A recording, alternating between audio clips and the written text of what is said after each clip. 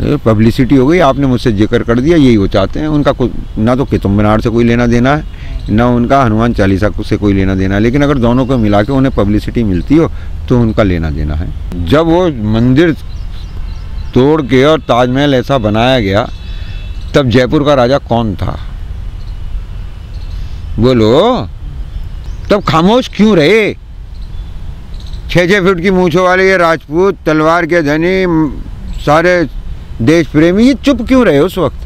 अपने इतिहास में कहीं लिख के मर जाते भाई मैं मरने को मर जाता लेकिन मेरे को शर्म के मारे ये खुफिया अध्याय लिख रहा हूँ इतिहास में कि वहाँ पे शिवलिंग रखे थे। जयसिंह इतना ही लिख जाता तो बहुत हो जाता। साले भूल के भी तो नहीं गए। अब ये तो सब बाद में बनाया जाता रहता। तो- अच्छा अंदर कुछ भी रखो। ना मैं जा रहा ना तुम जा रहे।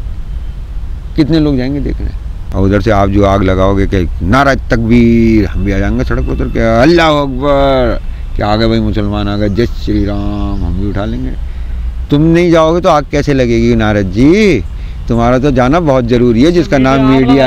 और मैं अंजना मोदी आपको दिखाती हूँ। देखिए ये शिवलिंग बिल्कुल मोदी जी से मिलता है उनकी शक्ल से मिलता है मतलब उनसे मिलता है। ये क्या बात है? ऐसे ही रिपोर्टिंग करवाओ और।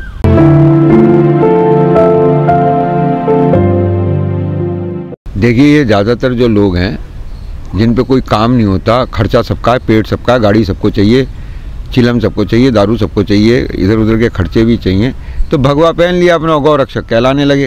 हम्म। और उसमें पकड़म धकड़ाई करने लगते हैं।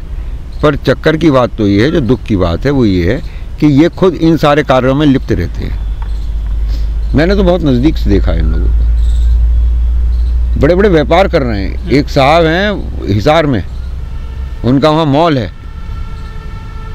तो वो जो है एक गौशाला चलाते हैं। और पूरे देश से ज़्यादा भी नहीं तो पाँच सौ गायें और सौ एक करोड़ रुपए चंदा जमा कर लेते हैं। तो गाय दूध नहीं देती है केवल वोट भी देती है पैसा भी देती है?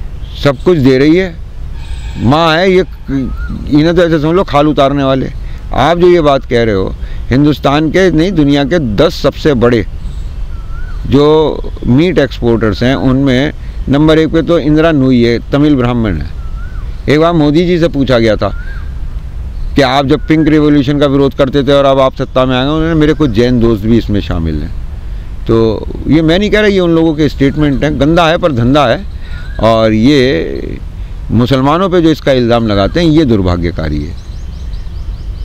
आधा किलो, एक किलो मीट चाहे वो मुर्गे का, उसके लिए अब्दुल तो जवाब देता रहे कि ये काय का मीट है। और जो ये मीट एक्सपोर्ट हो रहा है और जिसमें गाय का भी जा रहा है, उसको ये रोक लेंगे क्या? उसमें तो इन्होंने इंडस्ट्री में पैसे, भाजपा के बहुत सारे नेताओं के पैसे लगे हुए हैं। तो ये जो इस तरीके की चीज़ें चल रही हैं, ये गड़बड़ है, ये बुरी है। बट टेरर बना रहे खुद ये गुंडा एलिमेंट होते हैं। ये जानते ही नहीं कहाँ तक आगे बढ़ना चाहिए, कहाँ तक नहीं। तो इनके अंदर क्रिमिनल मैंटेलिटी होती है तो ये जो है इनको पावर कहाँ से मिल रही है? जो इस तरह से एक्शन आज समाज समाज से मिल रही है ना? गाय को धार्मिक रूप देकर। वैसे एक बात बताऊँ मैं आपको अगर कोई भी पढ़ा लिखा ब्राह्मण आपकी जानकारी में हो या कोई बनिया वैसे बनिया तो कमी होगा पढ़ा लिखा वो वंदे मातरम भी नहीं कर पाते। ब्राह्मण बगैर पढ़ा लिखा होता? तो उससे ये पूछना कि ये जो चंबल नदी है इसके नाम की उत्पत्ति की कथा क्या है? अपने आप तुम्हें पता चल जाएगा कि गाय के ऊपर क्या हो रहा है। देखो मैं फिर तुमसे कह रहा हूँ और तुम लोग इस बात को समझते नहीं हो। चंबल नदी उल्टी बहती है। सबके माल जान ईमान खतरे में थे। जैनियों का नहीं था मुगलों के राज में। तो भाई एक बात बताओ मुझे कि जब तुम असली चीज़ पढ़ोगे ही नहीं अब गाय बहुत पवित्र गाय बहुत पवित्र गाय नहीं खाना कब से नहीं खा रहे थे तुम। जो नहीं खाते वो नहीं खाते हैं। जो खाते हैं वो खाते थे।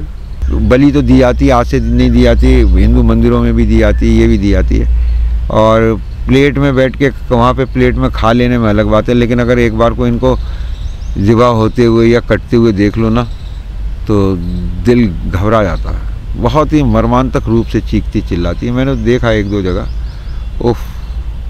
तो जानवर में भी जानवर में भी जान होती है। अरे ये तो खुद बेच खाते हैं यार। जमुना में पानी सूख जाएगा यही पार करा रहे होंगे। कौन? गौरक्षक। इनकी गाड़ी में तेल कहाँ से आता है? इनके पेट में तेल कहाँ से आता है? हैं? इनका खान पान देखो यार तुम। वाह आप वही लोग देते हो ना जो हाँ देते हो खुद भी कमावे हैं यार।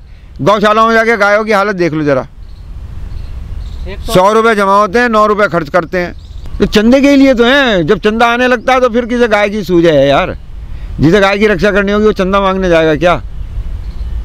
हर आदमी दो दो दो दो दो दो दो पकड़ लेगा।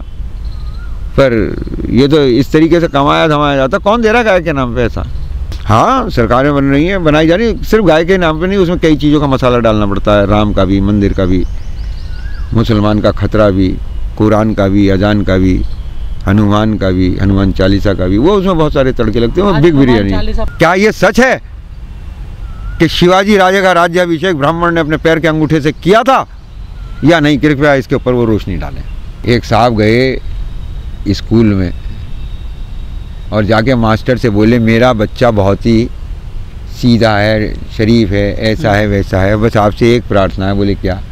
बोले, अगर ये कभी कोई गलती करे तो आप इसके पास वाले के कान पे थप्पड़ मारिएगा।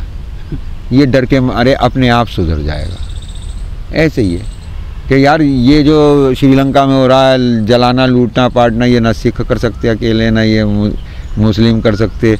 ये तो यहाँ का बहुत आया तो भीड़ ही करेगी हिंदू भीड़ करेगी। तो उसे कैसे डरा जाए? उन्होंने कहा मार मुसलमान के कान पे एक चांटा। हिंदू अपने आप डर के बैठ जाएगा कि इसके इतना भी नोट मारा मेरा क्या हाल करेगा? वो चुप बैठ जाएगा। तो ये डरा रहे हैं। ये खुद डरे हुए हैं डरा रहे हैं। लेकिन वो तो कह रहे हैं कि हम हिंदुओं को मज़बूत कर रहे हैं। सीमेंट लगा रहे हैं। अरे वो डर खुद डर रहे हैं इसलिए डरा रहे हैं। उन्हें मालूम है हमारे कर्मों की परिणति श्रीलंका में उन्हें दिख रही है और यहाँ का वो इंतज़ार कर रहे हैं। श्रीलंका को तो काफ़ी कई करोड़ रुपए इन्होंने दे दिया है अपने मदद के तौर पर। वो पैसा मिलेगा अभी वापस श्रीलंका से? किसी की मदद का दिया हुआ पैसा वापस लेना चाहिए क्या कभी? उधार दिया दे दिया तो दे दिया। जान दो। हाँ हमने भी तो दुनिया भर से लिया है। अभी ये जो मुद्रा व्यवस्था आगे आएगी इसमें यही होगा तू मेरे मध्य मैं तेरे नहीं दूँ जैसे रशिया से कह रहे हैं। अच्छा। है ना? तभी तो लड़ाई पूरी चलेगी लेकिन तुम लोग अपनी चिंता करो। कि देश एक जगह रहे एकजुट रहे, हम सब में भाईचारा बना रहे, हम जात पात पे, धर्म के नाम पे, पार्टी के नाम पे, राजनीति के नाम पे एक दूसरे से ना लड़ें और देश को युद्ध से दूर रखें। आठ मई को मातृ दिवस मनाया जाता है अंतर्राष्ट्रीय मातृ दिवस।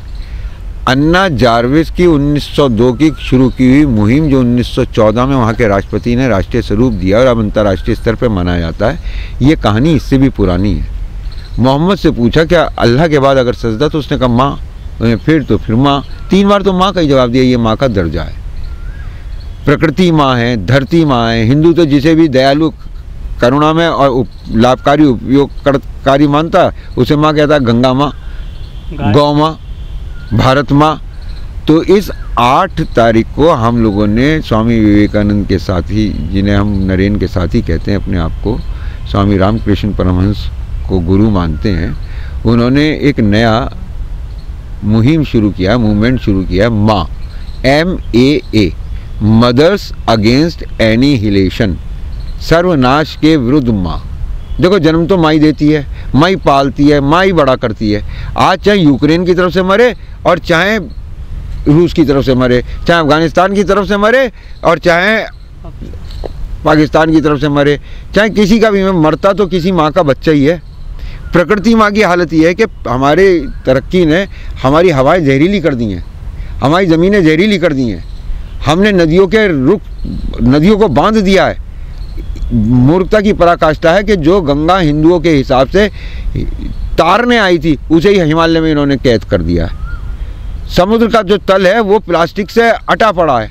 वहाँ पुनर्जीवन नहीं हो पा रहा है, क्योंकि वो जीवन लाइफ साइकिल को तोड़ रहा है। फिर आज की तारीख में एटम बम बहुत सारे हैं। आज की तारीख में एआई आर्टिफिशियल इंटेलिजेंस भी आ गई है। और आज की तारीख में मैन मेड वायरस भी आ चुका है। और फिर हम लोगों की एक दूसरे के प्रति नफरत। तो इस वक्त दुनिया भर की माओं को एक होकर अपने बच्चों के अस्तित्व पे आए हुए इस संकट को दूर करने के लिए कमांड हासिल करनी पड़ेगी। यूएनओ भी फेल हो रहा है, नेतृत्व भी फेल हो रहे हैं स्टेट भी फेल हो रहे हैं, देश भी फेल हो रहे हैं। आखिर में वो कौन है जो इन विनाशकारी चीज़ों को तैयार करके हमें आपस में लड़ाने की कोशिश कर रहा है? चाहे साम्यवाद के नाम पे मरे चाहे पूंजीवाद के नाम पे मरे चाहे धर्म के नाम पे मरे चाहे इस्लाम के नाम पे मरे चाहे यहूदी के नाम पे मरे चाहे क्रिश्चियन के नाम पे मरे चाहे हिंदू के नाम पे मरे अगर एटम बम पड़ेगा तो सब मरेंगे। वायरस किसी को नहीं छोड़ेगा। तो अपनी नफरत को कम करने के लिए ये जो नफरत में संतानें लड़ रही हैं इनको शांत करने के लिए अब माँ को अपने हाथ में जूत ले लेना चाहिए।